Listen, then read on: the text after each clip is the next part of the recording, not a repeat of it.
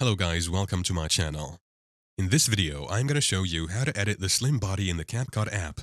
Whether you want to enhance your photos or videos, CapCut offers some fantastic editing features, including the ability to create a slim body effect. Let's dive right in. First, open up the CapCut app on your mobile device if you don't have it already. You can download it for free from the App Store or Google Play Store. Once you're in the app, import the photo or video you want to edit by tapping on the plus icon or the New Project button. Then select your video or photo and tap Add. Now in the timeline, select the photo or video on the timeline to which you want to apply the slim body effect to. Next, scroll through the tools at the bottom menu and select Retouch. Then tap on the body option. Now select the waist. You can adjust the intensity of the slim body effect by using the slider. Once you are satisfied, tap on the checkmark to apply the effect. If you want to make the waist more slim, export the video to your gallery, then import it again and apply the retouch effect again.